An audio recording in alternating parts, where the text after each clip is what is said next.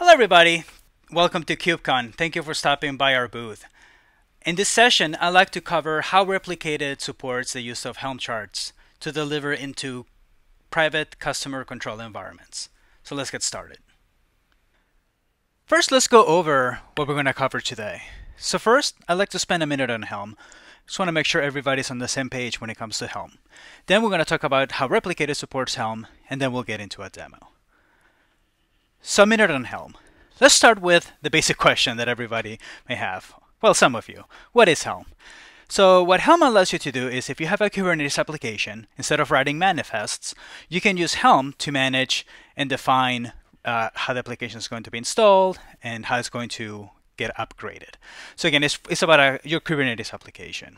If we go back a little back in history, back to 2015, Helm started as what is known today as Helm Classic. It's a Deis project that began in 2015 and was introduced at the very first KubeCon. Then the following year, uh, it was the project was merged with a GCS tool called Kubernetes Deployment Manager, and that led to Helm 2.0, which is uh, one of the more popular versions that was adopted. And then in 2018, it was promoted as a Kubernetes sub project to a full-fledged uh, CNCF project. And then in 2019, Helm 3 was released, which removed Tiller and graduated as a CNCF project in April of 2020. Now, why are software companies using Helm? For software companies that need to deliver into private controlled customer environments, Helm provides them with a single binary to deploy the applications. Well, single binary in that it contains all the instructions in a single file.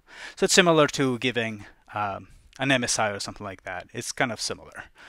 Um, there's also a built-in mechanism to handle the end user configuration. The end user may want to provide connection to their LDAP, maybe connection to a database, uh, default credentials, and so forth. So Helm provides a mechanism for that. And lastly, it is widely adopted in the community. So if you have customers asking you for Kubernetes applications, chances are they know Helm. Now, what are the challenges with Helm? So the challenges come when uh, companies are trying to operationalize delivering Kubernetes application into those private customer controlled environments.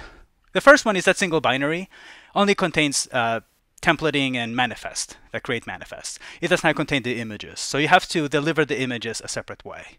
It also requires Kubernetes to be there in place, and as well, of course, Helm. The built-in mechanism to enter your LDAP information or your database connections and so forth does require the end user to edit a YAML file or provide them as parameters on the command line. So those are kind of error prone, especially if these are not very technical folks. And lastly, while this uh, can be a good thing that is widely adopted in the community, it also means that uh, we're curious people. So it means we're probably going to take your Helm chart, open it up, and probably make some changes, uh, improve it, quote unquote, and uh, then we'll use our own forked version. And that can be a challenge then for, uh, for updates and things down the line. So how does Replicated support Helm? How do we address those challenges?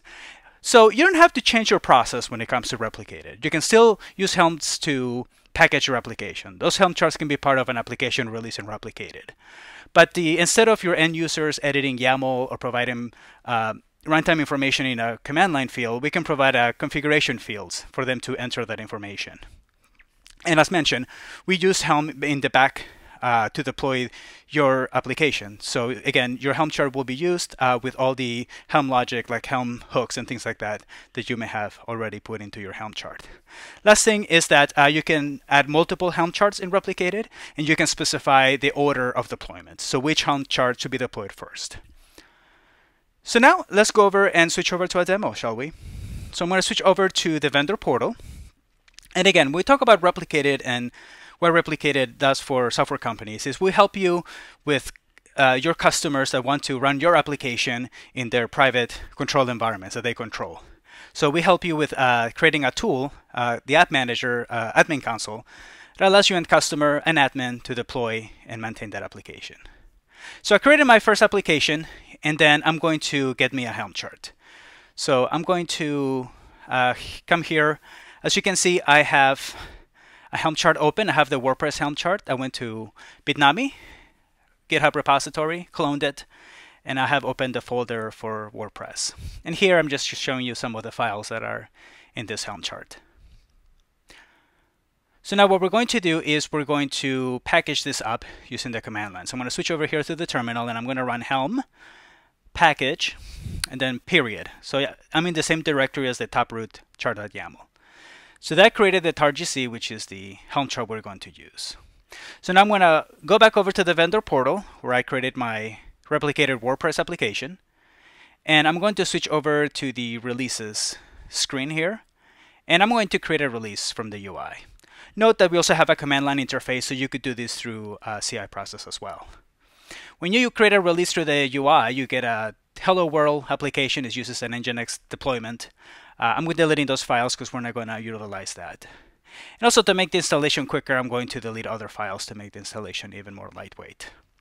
So um, I'm going to keep the config in, in that YAML. I'm going to open the folder where my Helm chart is, and I'm going to drag and drop it into this screen right here. So here I'm going to be given two options. I'm going to choose native Helm. This is what we will do when it comes to deploying the application in the customer environment. We want to use Helm just in case we included any specific Helm features in our chart. The other option would simply templatize all the manifest and then do something like kubectl apply on all the files. So as you can see in the chart YAML, uh, Replicated will open your chart, go into the chart YAML, gather the uh, chart name, the version, and create a file. It's the WordPress YAML file that you see at the bottom.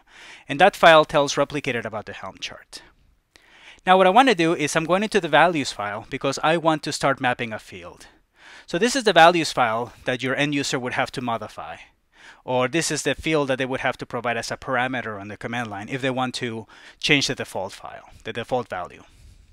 So with this deployment, I want to modify two values. I want to override two values. It's going to be the WordPress blog name, and I also want to override a port because my environment uh, has this port already in use, the one that WordPress wants to use, port 80. So one of these values I'm going to have the user override, and the other value, this one, I'm going to override it so it's always the same value. So to do that, I'm going to go back to, uh, well, first let's create the, the field for the the one that we want the user to modify. So the config YAML, it's a sample configuration screen. It's based on that Hello World application. So it has some ingress and Nginx fields. So I'm going to delete the first one and I'm going to repurpose this text field and I'm going to use the same name as the values, as the field in the values file. And I'm going to use the same name, just make it more readable here for the title. The title is the label, is what we'll show to the end user. So here we want to, you know, capitalize things, use spaces, things like that. Uh, yeah, I'll leave the, the help text, why not? But this, uh, this the when is makes the, the field only visible under certain circumstances. In this case, we want it to be visible all the time. So we'll I'll remove that line. Okay, so now let's map uh, the, the, the, values override. So we go back to this WordPress YAML again. This is the file that Replicated created when I dragged and dropped the chart into here. And it tells Replicated about the Helm chart. And in the values section, I can override the default values that are in the values file. So here's the field. Uh, since this field was at the root of that file, it wasn't indented at all. It's indented under values, only once, right? Uh, so here we're going to put uh, REPL, and this is just uh, you know Go templating here. And by the way, we do support Sprig functions as well if you want to have more advanced logic. So here I'm referencing the values for WordPress blog name, and the value is going to be whatever the user is going to enter in that UI field. Now for the service, um, I'm going to override this with a hard-coded value to 8080. So if we deploy the open source Helm chart, it will be running on port 80, but when you deploy with replicated, the port will be 8080. Okay. So let me just uh, kind of double check this before uh, we make all this, all the changes. Final. So the blog name looks good. And then the port. And again, notice how the, the these two fields start at the beginning, right? Uh, they're not in indented at all. Service uh, and then port. So the indentation is important um, with any YAML. Uh, so now we go into the this this replicated-app YAML is uh, you enter here configuration for the admin console that your end customer will use to deploy the application. This admin console will be used to deploy the application, but also manage things like updates, backup, restore, things like that. Usual administrative tasks. So I'm going to change the status informer that tells uh, the, the admin when the app is ready. And I'm also going to change this ports. This port section, uh, it allows Replicated when deploys your application to either do a port forward or expose another port. Uh, in this case, I'm entering the port 8080, which is the port I'm overriding for WordPress. So I think we, we have everything now. So I'm going to go ahead and um, click on Save My Release here and then I'm going to promote it to a channel. We don't talk too much about channels, but channels allows you to manage who has access to which release. In this case, my first release is going to be promoted to the unstable channel. So only folks that have access to the unstable channel have access to this release. Maybe once I validate this that it works, I'll promote it to another channel where my paying customers have access to. So here's the channel that I promoted this to, the unstable channel, and I'm going to copy the command line uh, here, the existing cluster. And it's two commands. The first one will install a Kubernetes uh, I'm sorry, a kubectl plugin, uh, kubectl KOTS. So when I hit enter, it's first going to run that curl command to download the, the plugin, and now it's going to run the kubernetes KOTS install command, probably for a namespace here, and it's going to go ahead and deploy the admin console. So as I mentioned, this will deploy the, the UI that your admin at your customer will use to manage the, the deployment and lifecycle of your application. So this will take a few minutes. Uh, as far as RBAC and so forth, uh, this is a test cluster, so it created the namespace. Uh, when you go into a customer environment, they may give you a namespace that's supported as well. You can also set minimal RBAC. So if your customer has a very tight uh, security, uh, you don't need much permissions to deploy this. I prompt me for a password, so I enter that, and now it's just a matter of waiting for the console to, to come up and ready. So I'm going to actually, um, looks like not all the pods are ready. So I'm going to run uh, I'm going to use watch to monitor the status of the pods here. So the kotsadm pod, that's a 0 of 1. That one's, okay, now it's ready. So that's the, the UI now. And as we can see now, in the installation output, we're given uh, a local host port forward to 8800, which is the admin console. So if I go there, I get the UI, enter the password that I selected in the, that I entered. Now I need a license. So we didn't do that yet. So in the vendor portal, when you have a customer that wants to deploy with Replicated, you'll need to assign them a license. And here we'll make it an easy license. But license uh, allows you to point to a specific channel. You can do other things. You can tie it into an existing licensing system. You can specify uh, expiration dates. You can also toggle on and off uh, replicated features. But we're going to keep it simple here. Just a simple license, put it in the admin console, and I'm going to go ahead with installation. The next screen is going to be that configuration screen. So it's going to be the WordPress blog name here. So I'm just going to enter my blog name, uh, demo blog, and click on continue. Since I removed the pre-flight spec from my release, it will not run any pre-flights. It will just go ahead and deploy the application. If I now switch over to that same command where I'm running wait, I can now see that the other WordPress pods are coming along. So as you can see, there's two pods. There's the uh, uses MariaDB as a database, and then we have the main WordPress pod that is coming up. So MariaDB looks to be a stateful set, and WordPress is just a, a regular pod. A deployment looks like. So uh, this will take just a few uh, moments to run. It just has to get the database up and running, and once the database is up and running, uh, WordPress will then be up and ready to go. So it just takes a few moments, folks. In the meantime, while we wait, uh, in the admin console, if you go to view files, here's you can kind of analyze what's happening behind the scenes. So in the upstream section are the files that come from the vendor portal, right? When we created the release. So here's the WordPress YAML file that tells us about the uh, Helm chart. Under base kind of gives you a preview of what how the Helm chart is going to be, you know, templatized or is going to be deployed. So in the deployment YAML, instead of the templating, we see the actual values, right? And here is where a lot of those uh, fields in the values file get routed to, specifically as environment variables. So if we go here, you can see that there's an environment variable called WordPress blog name, and it correctly has the demo blog value, which is what we entered in the UI. If I switch back to the terminal, looks like everything's up and running. I'll go back to the installation output screen. It tells me to go to port 8080. So I'm going to take that uh, URL, and that should open up WordPress. And it is. And as you can see, the title is demo blog. So it used the, the value from the UI. So this all worked. Uh, and now your question may be, well, how do we handle my images? If, if you're paying attention, right, we, have used the WordPress, which has publicly available images. If we look here in the values file, Um, images are coming from just the, from Docker Hub and they're public. So actually it's not here, is if you scroll further down here, we'll see right there on line 7, 69 is and 70 is a registry, right? Image and registry. So you may decide that you may have your images that are private, that require your pull secrets, right? It has your, uh, your intellectual property, so they're not public. So when you use replicated, uh, the way we solve that is you can either let us proxy your registry or you can use our registry. In this case, I'm doing a proxy to GCR. But this is any registry that we have access to. If your registry is behind your firewall, then you could use our own registry. By, by using either or, now when we deploy the application to the customer environment, we will deploy our secrets. And that secret will be tied to that license. If you specify an expiration date on that license, the pull secret will expire along with that license. But this also allows us to create AirGap bundles. So we mentioned earlier about Helm charts, how they only include the, the templates and the manifests. The images have to ma be managed separately. Well, by giving us access to your uh, registry, we can create AirGap bundles that contain your Helm chart and your images.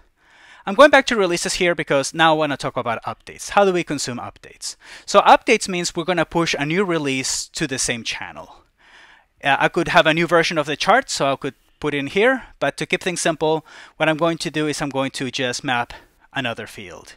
So if we go back to the values file, I'm just going to pick a field here, and I'm going to add another UI field. So let's take the, the WordPress first name on line 111. So just like we did earlier, we're going to um, create a new UI field for it. So under here, uh, we'll just create a new block of text here, similar to the one we have right above it. So we add a name. We'll use the same field name from the values file. And for the title, we'll we'll enter the, the, the this is the label, remember, the label that will be displayed to the end user. Okay, and now we're going to uh, specify the type. And then we're going to make this required. I want to make it required because I want the user to make sure they enter this before they upgrade to the next version. This question comes up a lot if this is supported. So let's go ahead and, and demonstrate how that works. I'm going to make this required. And uh, just making sure everything else. Oh, I got to do the mapping. So I'm going to go back to the WordPress YAML and enter the templating for the new field I just created using the same name as the values uh, field in the values file makes this a lot easier because you do a lot of just a lot of copy paste like this.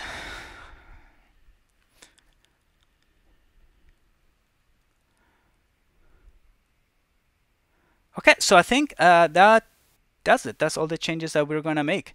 So uh, we're what we'll need to do now is uh, save this release. And again, we need to promote it to the channel. And it's based on that license that your end customer has. So when you push a new release, I'll promote a release to the channel that your customer's license is pointing to. That's when they will see the upgrade. So how do they consume upgrades on the on their side? So I'll switch over to the admin console. I went to version history. And under here, I can check for updates. So this is going to, again, uh, since my license is pointed to the unstable channel, is querying it to see if there's new update. And as you can see, the text is changing there. It's it's it's bringing it down. Uh, your end user can control how they consume updates, by the way. So right here, they can check, for example, um, how often to check for updates. Uh, they can the default is every four hours, but as you can see, there's many options there. They, they could also enable automatic updates as well if they want to do that.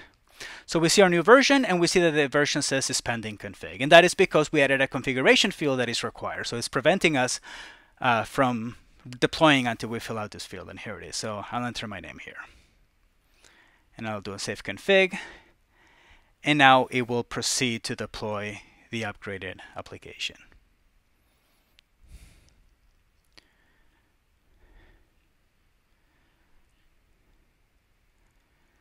So that is how you would handle uh, any updates. In upgrade scenarios, you would simply have a new bundle to upload.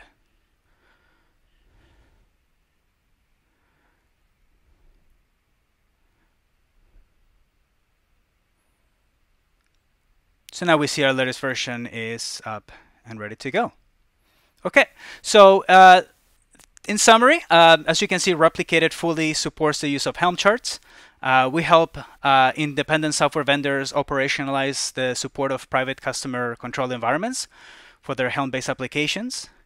And stay tuned for more features around Helm. Uh, we have some new exciting features on the on the customer side to deploy for those that uh, require Helm. So stay tuned for that. Thank you again for watching and enjoy KubeCon.